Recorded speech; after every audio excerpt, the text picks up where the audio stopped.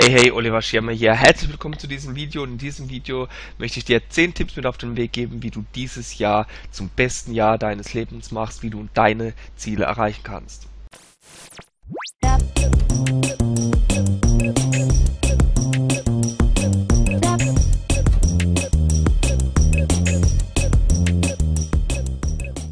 Ja, manchmal kommt man an einen Punkt, wo man sich einfach die Frage stellt, hey, wie war denn eigentlich so mein letztes Jahr? Habe ich die Ziele, die ich mir ja gesteckt habe, konnte ich diese Ziele erreichen? War ich so erfolgreich, wie ich es mir gewünscht habe? Oder was soll die äh, ja die nächsten Jahre und Monate erreicht werden? Und im Folgenden möchte ich dir einfach diese zehn Tipps geben, ja, die du benötigst, um ja aus diesem Jahr ja das beste Jahr deines Lebens zu machen, wie du deine gesteckten Ziele erreichen kannst. Und ich möchte hier nicht auf irgendwelche neuen Strategien oder Methoden eingehen, sondern ich möchte dir einfach die Basics mit auf den Weg geben, die du brauchst und ohne die Erfolg einfach nicht möglich ist. Und deswegen verlieren wir keine Zeit, steigen sofort in das Thema ein. Ich habe zu diesem Thema auch einen Blogartikel ähm, erstellt auf www.oliverschirmer.de und anhand diesem ähm, kannst du das Ganze auch nochmal ja in Ruhe durchlesen. Ich werde den Link unterhalb des Videos zur Verfügung stellen, aber jetzt zu den 10 Tipps, wie du dieses Jahr zu deinem besten Jahr machst. Punkt Nummer eins: Entwerfe eine Vision für dein Leben und steck dir für dieses Jahr konkrete Ziele. Ja, ich habe auch schon öfters mal gehört, dass man sich keine konkreten Ziele stecken sollte.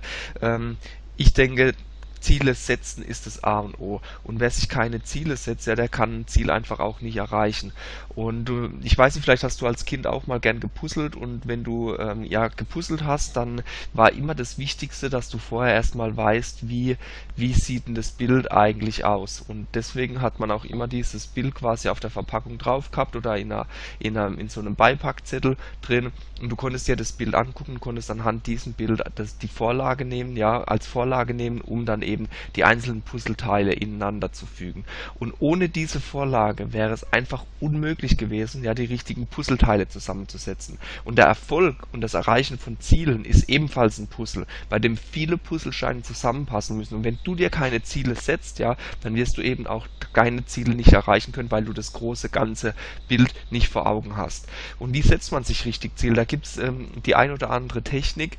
Ähm, zunächst mal ist es einfach wichtig, dass du ja deinen Fokus auf das lenkst, was du willst und nicht auf das, was du nicht willst, ja. Und die, wenn du kannst auch das mal testen, red mal mit vielen Menschen und ähm, du wirst merken, dass die Mehrheit dieser Menschen, die wissen besser, was sie alles nicht wollen, als das, was sie wirklich wollen, ja. Und ein Ziel sollte immer äh, smart formuliert sein. Smart steht für spezifisch, messbar, akzeptierbar, realistisch und termini terminierbar, ja, dass du einfach ganz klar weißt, okay, was ja ist bis wann ja zu tun, bis wann muss es erledigt sein und wie kann ich das Ganze auch messen. Ja, also wenn du zum Beispiel dir ein Einkommensziel setzt, dann weißt du, okay, was musst, kannst du runterbrechen. Äh, Einkommensziel im Jahr kannst du runterbrechen auf dein Einkommen im Monat, Einkommen auf die Woche, Einkommen auf den Tag und kannst dann eben anhand ja, deines Tagesverdienstes dann sehen, ob du deinem Ziel näher gekommen bist oder nicht. Und dann mach dir klar, was du wirklich willst. Ja, stell dir einfach mal deinen perfekten Tag vor. Was passiert? Was machst du den ganzen Tag über? Was muss passiert sein, damit du einfach weißt, dass dein Ziel Realität geworden ist. Und durch diese, ähm, ja, durch diese Übung findest du einfach heraus, ja, ob du das wirklich willst, weil ähm, ich habe schon oft die Übung gemacht äh, mit Zielen und habe dann hin und habe dann, wenn ich das gemacht habe, festgestellt, hey, das ist eigentlich gar nicht das, was ich eigentlich will, ja. Und dann kannst du Korrekturen vornehmen und damit ähm, stellst du einfach sicher, dass du ja äh, nicht irgendwelchen Fall, falschen Zielen hinterherläufst. Dann ist wichtig, dass du dir einen Plan äh, erstellst, einen Aktivitätenplan, ja, mit Aktivitäten, die dich zum Ziel führen und einfach da drauf schreibst, ähm, ja, was du gern tun möchtest, ja, was, welche Aktivitäten dich zum Ziel bringen und welche Aktivitäten dich davon abhalten, ja. Was musst du täglich tun, um deine Ziele zu erreichen? Und dann formuliere deine Ziele positiv und so, als wären sie bereits erreicht. Und wenn du dann diese ähm, Erkenntnisse alle notiert hast, ja, dann kannst du eben dein Ziel ja sehr einfach nach der Smart-Formel, die wir eben schon angeschnitten haben, ähm, festsetzen. Ja, und das Wollen ist ja das eine. Ja, letzten Endes wird aber unser Ziel nur dann Realität, wenn wir in die Handlung kommen. Und handeln können wir nur, wenn wir äh, in energievollen Zuständen sind. Das heißt, zweiter Punkt, sorge dafür, dass du in einem energievollen Zustand bist. Ja, im Prinzip ist es eigentlich auch eine ganz einfache Geschichte. Ja, wenn du dir das einfach mal anschaust, wenn du eine schlechte Energie hast, ja, dann wirst du ja schlechte Entscheidungen treffen. Und wenn du schlechte Entscheidungen triffst, dann äh, werden deine Handlungen schlecht sein. Und wenn deine Handlungen schlecht sind, wirst du schlechte Ergebnisse Haben und das führt dazu, dass wenn du ein schlechtes Ergebnis hattest, dass dir das auch wieder deine Energie raubt und du weit und deine schlechte Energie sich verstärkt. So, und das ähm, ist wie so ein Teufelskreis und den kannst du eben einfach nur unterbrechen, indem du in deiner, in, in deiner Einstellung anfängst, indem du anfängst, ja, energievoll zu handeln, ähm, ja, und dich ähm, so zu verhalten, dass du auch Energie hast, ja. Und dann sieht das Ganze anders aus. Du hast gute Energie, gute Energie äh, geben gute Entscheidungen und gute Entscheidungen zu treffen führen zu gute Handlungen und dann dementsprechend gute Ergebnisse. Und gute Ergebnisse führen zu noch mehr Spaß, zu noch mehr Freude, zu noch mehr Energie und ähm, dementsprechend ja ähm, weiter zu guten äh, Handlungen. Ja, und ähm, genau das ist das Thema. Du musst einfach dafür sorgen, dass du ja in energievolle Zustände kommst, ja. Und wie kannst du das tun? Du brauchst eben eine krasse Energie, ja, um ins Handeln zu kommen, um ja, um dich in eine positive Energiemaschine zu verwandeln, ja, und du kannst dafür einfach eigen, deine Sprache und deine Körpersprache zum Beispiel einsetzen. Stell dich zum einfach, zum Beispiel einfach aufrecht hin, ja, nimm deine, deine Brust raus, deinen Kopf hoch und sprich dir voller Energie, ja, und mit ganzem Einsatz was Positives zu, zum Beispiel, ich bin gut so wie ich bin, ich habe Geld und Erfolg verdient, ich schaff das, ja, oder was auch immer es ist, ja, und mach das einfach mal eine Zeit lang und dann wirst du spüren, spüren, wie deine Gefühle, wie deine Emotionen jetzt beginnen, sich in dir zu verändern, ja. Und ja, und wenn du was erreichen willst im Leben, ja, dann musst du einfach andere Menschen begeistern können. Und dazu, ja, musst du einfach lernen, dich selbst zu begeistern und dich in ressourcenvolle Zustände zu versetzen. Und da ist diese Übung, ja, die ist Gold wert.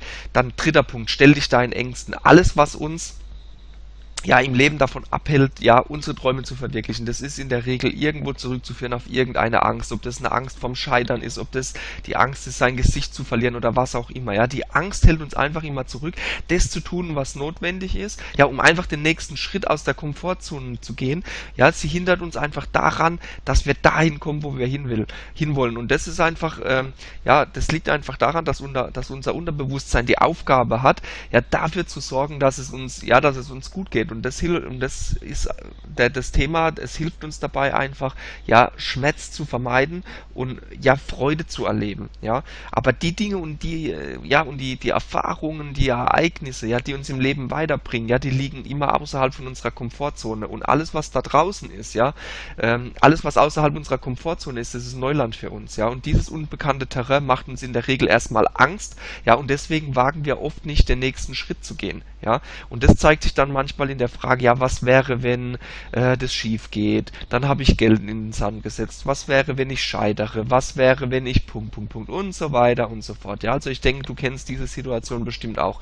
Und mach dir einfach klar, dass die Angst nicht gut ist. Die Angst ist nicht schlecht, sie ist einfach. Angst ist einfach Angst.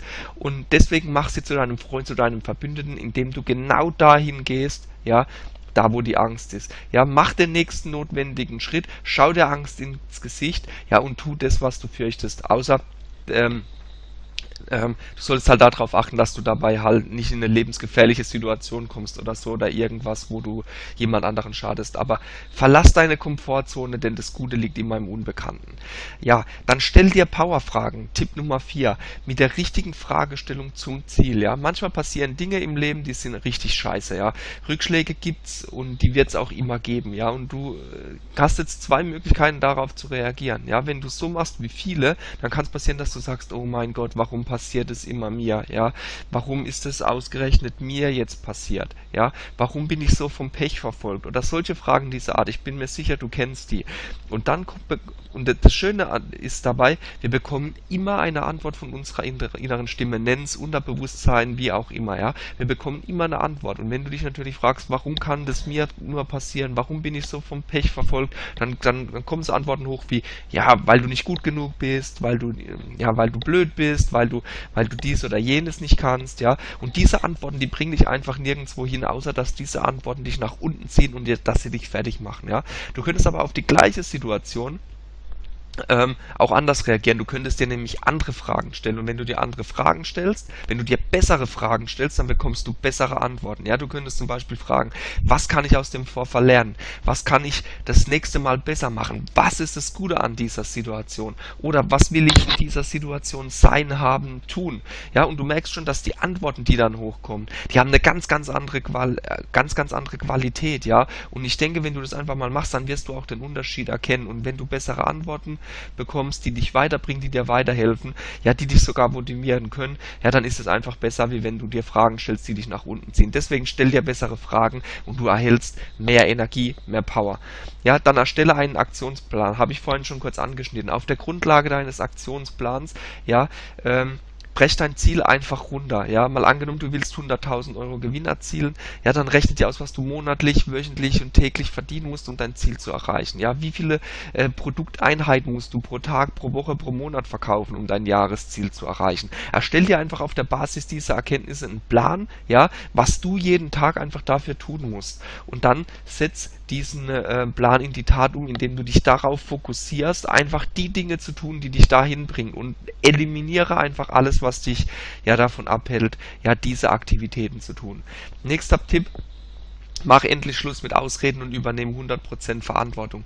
Die Mehrheit der Menschen erzählt sich Tag für Tag Geschichten, ja, Stories, warum sie etwas nicht können, warum etwas nicht so gelaufen ist, wie man es eigentlich vorgehabt hat. Und es gibt so einen schönen Spruch, wer, viel, wer will, findet Wege und wer nicht will, findet Ausreden. Den Spruch hast du bestimmt schon mal gehört und der ist absolut treffend, ja. Anstelle, ja, irgendwelche Gründe dafür zu suchen, warum etwas nicht geht, kannst du aber auch anfangen, wenn du schon Gründe suchst, ja, warum du es verdient hast, äh, Erfolg zu haben, warum du es verdient hast, dieses Ziel zu erreichen, was das Gute daran ist, wenn es dir gelingt, dieses Ziel zu erreichen, was Gutes für andere Menschen dabei rauskommt, ja. Und suche einfach Gründe, warum es gut ist, dass du dein Ziel erreichst. Fang an, Beweise dafür zu sammeln, ja, dass es geht und dass du es kannst. Nächster Tipp, finde dein Warum. Das eigene Warum zu finden, das ist wohl ja der wichtigste Punkt überhaupt. Ganz einfach aus dem Grund, weil das Warum dir die Energie gibt, ja, die du benötigst, um dein Ziel zu erreichen. Es ist die Energie, ja, die dich morgens antreibt, die dich aus dem Bett schmeißt, ja, wo du es kaum erwarten kannst, in den Tag zu starten. Es ist die Energie, die dir hilft, ja, auch Schwierigkeiten wegzustecken, einfach weiterzumachen, ja, den Fokus aufs Ziel gerichtet zu lassen, ja. Und deswegen ist es ganz entscheidend, dass du ja dein Warum findest. Und das kannst du ganz einfach machen, wenn du deine Ziele schriftlich notierst und einfach ja die einzelnen Ziele mal durchgehst und einfach mal dein Warum hinterfragst und einfach fragst, warum will ich dieses Ziel erreichen? Und so siehst du sehr schnell, ob es Gründe für ein Ziel gibt. Und sobald es gute Gründe für ein Ziel gibt, dann ist es auch wert, dass dieses Ziel ja dementsprechend erreicht wird. Lerne von Menschen, die da sind, wo du hin willst, ja. Ähm, ich weiß nicht, wie es bei dir ist, ja, ähm, wenn es bei dir so ist wie bei den meisten Menschen, dann äh, wirst du sicherlich Menschen um Rat fragen, die in deinem Umfeld sind, ja. Das können Freunde sein, das können die Familie sein und dann wirst du, wenn du Fragen hast, diese, ähm, diese Fragen eben dort diskutieren. Nur die Antworten, die du dort bekommst, die werden dich in der Regel nicht dahin bringen, wo du hin willst, weil ähm, wir Menschen kennen in der Regel Menschen, die auf dem gleichen oder ähnlichen Level sind wie wir. Wenn wir jetzt aber irgendwas erreichen wollen, ja, ähm, mal angenommen, du unterhältst dich mit einem Angestellten, wie man erfolgreichen Unternehmen aufbaut, ja, dann wird er dir nicht die Antworten geben können, wie wenn du mit einem erfolgreichen Unternehmer sprichst, der das Ganze schon gemacht hat. Warum? Ja, selbst wenn er es noch so gut meint, er ist diesen Weg nicht gegangen, er hat nicht die Erfahrungen gemacht, er hat nicht die Situation erlebt, die ein erfolgreicher Unternehmer ähm, ja erlebt. Und wenn du eben ja, einen erfolgreichen Unternehmer fragst, ja, dann wird die Person dir ganz einfach sagen können, okay, welche Erfahrungen sie gemacht hat, wie sie gedenkt, wie, wie sie gedacht hat, wie sie, wie sie gehandelt hat, was sie, was sie im ersten Schritt getan hat, im zweiten Schritt getan hat. Und das alles kann die Person dir an die Hand geben und das kannst du als Vorlage verwenden, als Blaupause ja für deinen Erfolg. Und wenn du so dementsprechend handelst, dann kannst du dir sicher sein, dass du ähnliche Ergebnisse auch erzielen wirst. Entwickle neue Gewohnheiten. Schau dir einfach mal ja deine Gewohnheiten an. Die Gewohnheiten, ja, die dich bis hierher gebracht haben, ja, an dem, an den Punkt, an dem du gerade bist, ja, die Gewohnheiten werden dich nicht woanders hinbringen. Und wenn du andere Ziele erreichen willst, ein besseres Leben haben möchtest, ja, dann brauchst du andere Handlungen, andere Gewohnheiten, mit denen du das auch erreichen kannst. Stell dir einfach mal die Frage, ja, welche neuen Gewohnheiten brauche ich denn, um mein Ziel zu erreichen? Ja, der, den Wille zu haben, ein Ziel zu erreichen, ist zwar extrem wichtig, aber ohne die notwendigen Handlungen ist, äh, und Gewohnheiten ist es völlig wertlos. Ja, was zählt, sind deine Aktivitäten Ergebnisse und nicht, was du wolltest, ja. Vielleicht musst du, ja, vielleicht eine Stunde früher aufstehen, um dein Ziel zu erreichen, um dir neues Wissen anzueignen, ein Buch zu lesen, ja. Vielleicht musst du mehr Sport treiben, wenn du, wenn du abnehmen willst zum Beispiel. Ja, vielleicht musst du mit zehn Menschen täglich über dein Business sprechen. Ist völlig egal, was es ist. Finde heraus, was es ist, mach's dir zur Gewohnheit.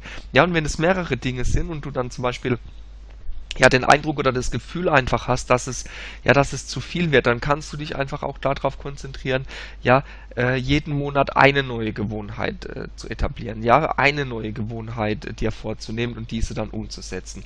Und dann der letzte, aber wichtigste Punkt, arbeite weiter an deiner Persönlichkeit. Und Persönlichkeitsentwicklung, das ist nicht, was man von heute auf morgen erledigt, sondern ja, das ist ein lebenslanger, kontinuierlicher Prozess und den Aufwand, den du betreibst, ja, der wird sich lohnen. Denn ähm, als Belohnung, ja, wirst du mehr Lebensqualität haben. Du wirst einen besseren und ruhigeren Umgang mit deinen Problemen und Schwierigkeiten haben. Du wirst mehr Gelassenheit, Glück und Zufriedenheit in allen Lebensbereichen haben. Und das sind nur wenige Vorteile, die ich dir jetzt hier genannt habe. Ja, mach dir einfach klar, ja, dass du selbst dein bester Trainer, selbst dein, dein Coach, dein, dein bester Coach bist, ja, und versuche einfach die beste Person zu sein, die du sein kannst. Und wenn das Video jetzt für dich hilfreich war, dann würde ich mich freuen, wenn du mir einen Daumen hoch gibst, ja, ähm, oder es mit deinem Netzwerk teilst, wenn du mir einen, einen äh, guten Kommentar hinterlässt, damit wir uns einfach mal äh, austauschen können. Ja, wenn du weitere Tipps möchtest, dann findest du ähm, ja auch unterhalb des Videos den Link, wo du dich in meinen Newsletter eintragen kannst. Dort bekommst du weitere Tipps rund ums Thema Marketing, Persönlichkeit, Erfolg, ja, und natürlich, wie du automatisiert an neue Kunden kommst. In diesem Sinne, ja, danke ich dir jetzt für deine Aufmerksamkeit. Ich wünsche dir maximalen Erfolg und dass du alle deine Ziele erreichst diesem Sinne, ciao, ciao, dein Oliver Schirmer.